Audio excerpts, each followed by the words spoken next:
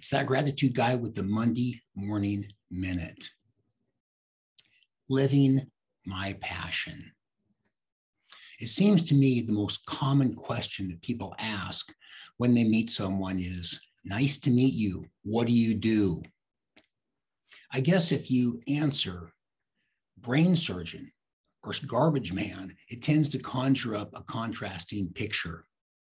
When people ask me, I answer that I am living my passion.